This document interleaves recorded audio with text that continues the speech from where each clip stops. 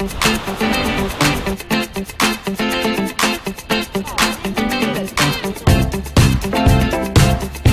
知道来垦丁后壁湖除了玩水吃美食之外，还有什么新景点可以去吗？难道你知道后壁湖有什么私房景点吗？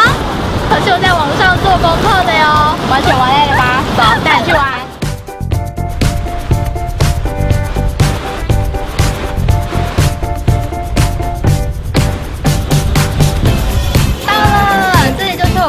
的口袋私房景点。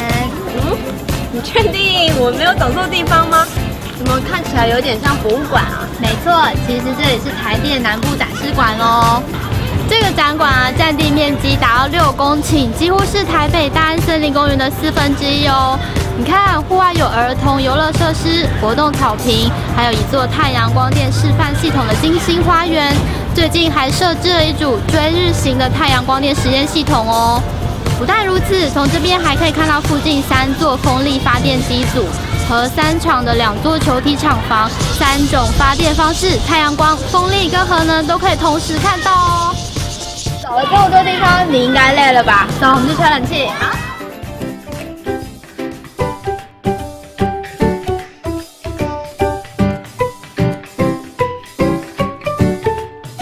这是附近海域的生态珊瑚礁，还有鱼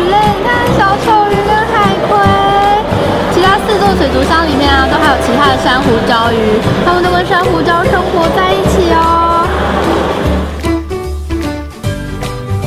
哎，你看，这里可以看到珊瑚的生态观测，然后可以看到珊瑚沙啦，还有呢，在进水口珊瑚的即时画面耶。这个可是台电南部展示馆的独家画面喽。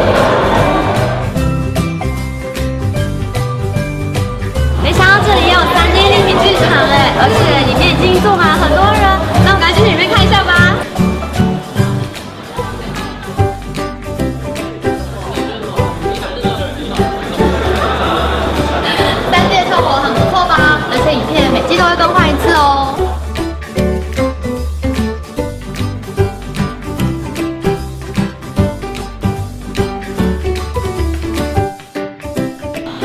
我们地震屋体验到的有五级，但是呢，核三厂坐落在岩盘上，可以耐到震度七级的地震哦。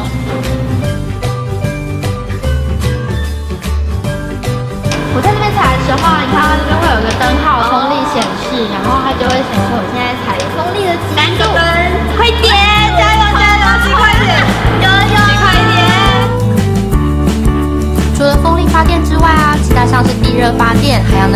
等等的电力知识，在这里都可以有更进一步的了解。这边是核能剧场，介绍为主体的结构，还有它的功能。它们是用多重设施屏障来确保核能发电的安全哦。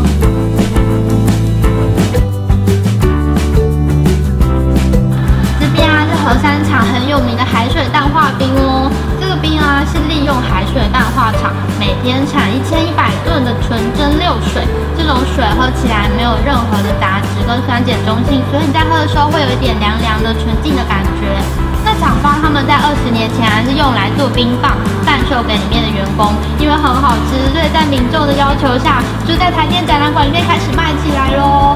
它的口味啊有花生、红豆、百香果、凤梨，还有巧克力等等。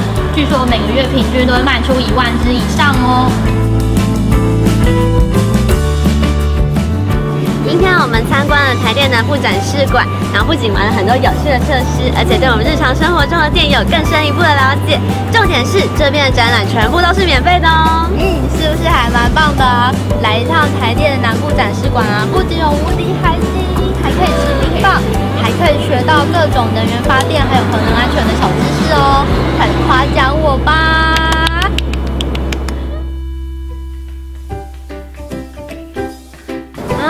么黑，他们是备要闭馆了？